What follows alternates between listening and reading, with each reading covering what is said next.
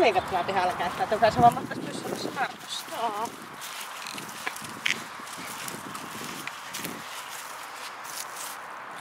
Aika lämmin.